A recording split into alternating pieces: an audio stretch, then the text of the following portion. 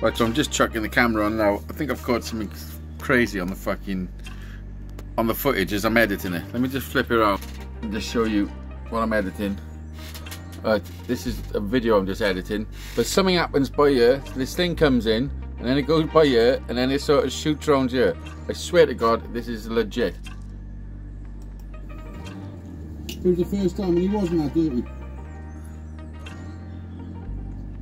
See that? It ends up coming by here at the end, but it starts off somewhere by here. You're gonna have to catch it. Um, that that's it there. Whatever that is, that's it going. Let me just go back a bit. I'm not sure where it comes from. Let's just. It was the first time and he wasn't that dirty. There, it come down from by here. It come down here. It's by there right now.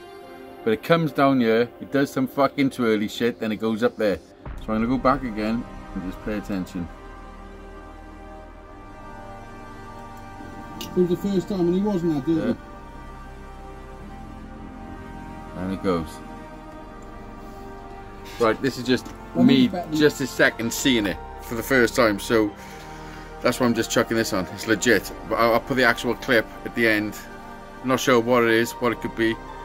But at the moment, it just seems a little bit fucking crazy. So, uh, what is it? Can you tell me? Oof, yeah, that was a bit of a faff, to be honest. Um, it was the first time and he wasn't that dirty.